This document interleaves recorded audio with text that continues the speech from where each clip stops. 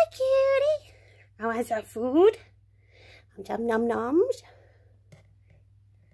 Oh, she's a hungry girl. See, you're not crazy like Annie. You're polite.